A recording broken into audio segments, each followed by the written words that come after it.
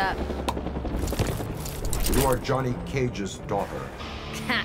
Shocked I'm not some Beverly Hills brat? Yes.